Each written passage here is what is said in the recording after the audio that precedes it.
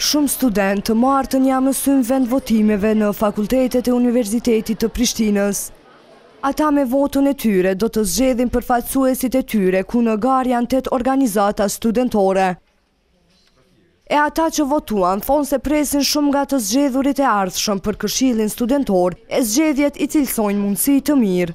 Çdo herë ka nevojë për freskime të reja, ka nevojë për njerëz që punojnë edhe t'u jepet mundësi me punu. Këto zgjedhje padyshim që janë një mundësi e mirë për ata që dëshirojnë me dëshmu veten edhe punën n'të mirë të universitetit.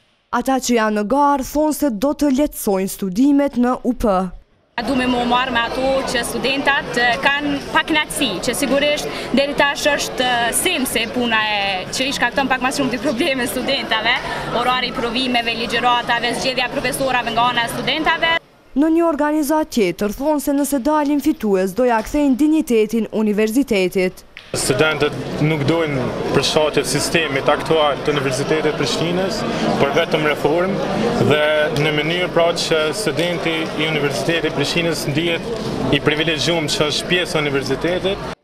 Ata thonë se nuk ka pasur ndonjë parregullsi të theksuar.